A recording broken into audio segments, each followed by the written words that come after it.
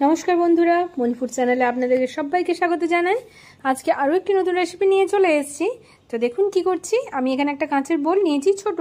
তো সেই বোলটার এক বোল ভরে আমি দিয়েছি ময়দা। আর দিয়েছি এক বোলের থেকে কিছু কম আটা। আর সাথে লবণ দিয়ে মিশিয়ে এটাকে ভালো করে মেখে নিচ্ছি। এবার অল্প পরিমাণ জল দিয়ে দিয়ে একটা খুব সুন্দর ডো বানিয়ে নেব। আপনারা ভাবছি কী বানাচ্ছে? রুটি পরোটা এসবই তো বানাবে? দেখুনই না কি বানাচ্ছি।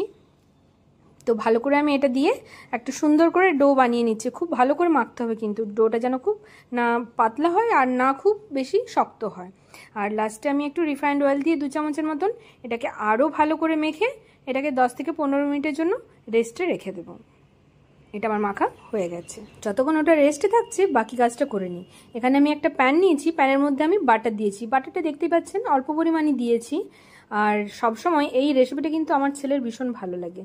ও একদমই সবজি টবজি খেতে চায় না এবং সব থেকে বড় ব্যাপার মায়েদের যে টিফিনের মধ্যে কি দেব কি দেব, যাতে বাচ্চাদের হেলথ ভালো থাকে এবং স্কুল থেকেও সবসময় বলে থাকে মিসরা যে যেন বাচ্চাদেরকে একটু ভেজিটেবলস ফ্রুট ফ্রুটস দেওয়া হয়। তো সেই ভাবনা চিন্তা করেই আমি এখানে তিন রকমের ক্যাপসিকাম নিয়েছি। প্লাস গাজর নিয়েছি আর পেঁয়াজ নিয়েছি। বেশ অনেকটা করে পরিমাণ নিয়ে। এরপর সবগুলোকে আমি পাতলা পাতলা করে কেটে রেখেছি। তো গাজরটা সেদ্ধ হতে একটু টাইম লাগে, তাই ওটাকে দিয়ে আগে ভালো করে একটু ভেজে নেব। কাজটা আমি এখানে বাটারে করছি। আপনারা চাইলে কিন্তু এটা তেল দিয়েও করতে পারেন, সাদা তেল দিয়ে। বাটারটাও খেলেও ভালো ওদের জন্য, তাই বাটারটাই দিলাম।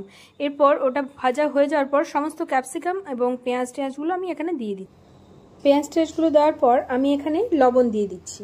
লবণটা দিলে এতে কিন্তু একটু জল বেরোবে এবং হালকা নরমও হয়ে যাবে। কারণ এটাকে খুব বেশি কিন্তু ফ্রাই করা কি সেদ্ধ করার কোনো প্রয়োজন নেই। তো আমি জল ব্যবহার করছি না, আঁচটাকে কম করে আমি ঢাকা দিয়ে দিয়েছিলাম। কিছুক্ষণ এটা নরম হয়ে যাওয়ার পর আমি এখানে অল্প পরিমাণে কিন্তু মশলা ইউজ করছি, যার জন্য একটু ধনে গুঁড়ো, একটু জিরে গুঁড়ো, অল্প একটু হলুদ গুঁড়ো, কাশ্মীর লঙ্কার গুঁড়ো যাতে ঝাল না হয়। কারণ বাচ্চাদের কথা মাথায় রেখেছি তো, তাই ঝালটাকে অ্যাভয়েড করেছি। আপনারা বড়দের জন্য যদি বানাতে চান তাহলে ঝালটা দিতেই পারেন। একটু পেয়ার পেয়ারে মশলা দিয়েছি।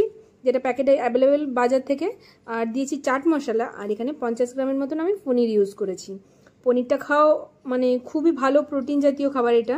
তো সমস্ত কিছু মাথায় রেখে কিন্তু আমি এটা বানানোর চেষ্টা করেছি। তো এটাকে একটু নেড়ে চেড়ে ঢাকা দিয়ে রেখে দিলেই কিন্তু আমার যে স্টাফিংটা থাকবে, সেটা কিন্তু একদম রেডি হয়ে গেলো। দেখতেই পাচ্ছেন কতটা সুন্দর লাগছে। এটাকে একটু আমি ভালো করে ভেজে নিচ্ছি যাতে এর মধ্যে সমস্ত মশলা চলে যায়। তো এটা রেডি হয়ে গেছে। এরপর যে আটাটা আমি মেখে রেখেছিলাম, এটার থেকে আমি কয়েকটা লেচি কেটে নিই। দেখাই যে কটা হচ্ছে। মোটামুটি আমার চারটের মতন লেচি হয়ে যাবে। তো চারটে লেচি এখানে করে নিচ্ছি। এটাকে বেশ ভালো ভালো গোল করে আবার এটাকে রেডি করে নিলাম। দেখুন, এগুলো আমার বানানো হয়ে গেছে। এবার আমি একটু ময়দা দিয়ে দিলাম। এরপর যেভাবে রুটি বেলে আর আমার ডোগুলো কিন্তু যে লেচিগুলো কাটা হয়েছে, সেটা কিন্তু বেশ একটু মোটা মোটা রেখেছি। তো এটাকে আমি বেলে নিচ্ছি। দেখতে পাচ্ছেন যে কতটা মানে এত সুন্দর মাখাটা হয়েছে এবং তেল দিয়ে ভেজানো ছিল, যার জন্য কিন্তু এটা কিন্তু না খুব একটা খাস্তা হবে, না আপনার একটা মানে টান টান ভাব থাকবে। এই যে রুটি কিংবা পরোটা যেটাই বানায়, সেটা কিন্তু খুব সুন্দর হবে। আমি বেশ বড় করে, গোল নয়, কিন্তু স্কোয়ার শেপ হয়ে গেছে। তো যাই হোক, সেই শেপের মধ্যেই আমি এটাকে করে নিচ্ছি। এটাকে উল্টে পাল্টে প্রথমে আগে গরম করে নিচ্ছি। দুটো পিঠ সেঁকে নিলাম। এরপর ওপর থেকে আমি একটু রিফাইন্ড অয়েল দিয়ে এটাকে আমি ভেজে নেব। আপনারা চাইলে এটাও কিন্তু বাটার দিতেই পারেন, কোনো অসুবিধে নেই। আমি একবার বাটার দিয়েছি, তো এবার এটাকে আমি সাদা তেল দিয়ে ভেজে নিচ্ছি। ঠিক পরোটা যেভাবে ভাজা হয়, দুটো পিঠই আমি হালকা করে দিয়ে ভেজে নিচ্ছি। এটা কিন্তু এত তাড়াতাড়ি রেসিপিটা তৈরি হয়ে যায় এবং এত খেতে টেস্টি আপনি একবার বানিয়ে দেখলেই বুঝতে পারবেন। চারটে পরোটাই আমার ঠিক একইভাবে বানানো হয়ে গেছে, দেখতেই পাচ্ছেন এগুলো বেশ বড় বড় হয়েছে। এবার যেটা হচ্ছে, আমি ওপর থেকে পাস্তা এবং পিৎজা পাস্তার যে সস থাকে সেটা লাগিয়ে দিলাম। বারবার বলছি, বাচ্চাদের কথা মাথায় রেখেছি। তো সেই কারণে ওদের যাতে ভালো লাগে, কারণ হেলথের সাথে সাথে একটুখানি ওদের যাতে ভালো লাগে সেটা মাথায় রেখে আমি কিন্তু বানিয়েছি। তো এবার যে আমি স্টাফিংটা তৈরি করেছিলাম, সেটা কিন্তু এখানে দিয়ে দিচ্ছি। খুব বেশি বেশি করে পনির, সমস্ত রকম ক্যাপসিকাম গাজর যা আছে, আর ওপর থেকে হালকা একটু পেঁয়াজ কোচানো ছিল র পেঁয়াজ, সেটা আমি দিয়ে দিলাম। এবার ওটা যেটা ওদের ফেভারেট এবং একটা রোল কখনোই কমপ্লিট হয় না যেটার জন্য। তো আমি সসটা দিয়ে দিলাম টমেটো সস এবার এটাকে রোলের আকারে ঠিক সুন্দরভাবে আমি এটাকে মুড়ে নিচ্ছি।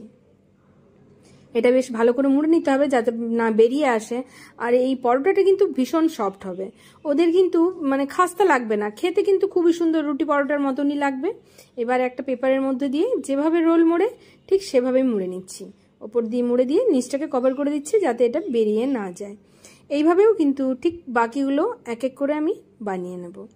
দেখতেই পাচ্ছেন একটা বানানো হয়ে গেছে আমার। আমার এই রেসিপিটি কিন্তু ভালো লাগলে আপনারা অবশ্যই আমাকে কমেন্ট করে জানাবেন যে কেমন লাগল এবং আপনাদের বাচ্চাদেরও যদি ভালো লেগে থাকে। যার জন্যই। কারণ বারবার আমি স্কুল থেকে বলি মানে শুনে এসছি, ওদের মিস বলে থাকে যে বাচ্চাদেরকে কিন্তু একটু হেলদি খাবার দেবেন। ওরা কিন্তু খেতে শিখবে না হলে খেতে শিখবে না। এবং ওদের হেলথও ঠিক থাকবে না।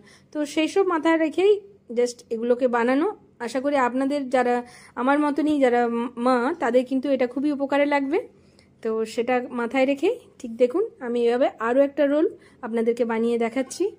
অবশ্যই বাড়িতে ট্রাই করবেন এবং ভালো লাগলে আমাকে জানাবেন। আর যদি আমার এই রেসিপিটি ভালো লেগে থাকে, তাহলে অবশ্যই চ্যানেলটিকে সাবস্ক্রাইব করবেন। Thank you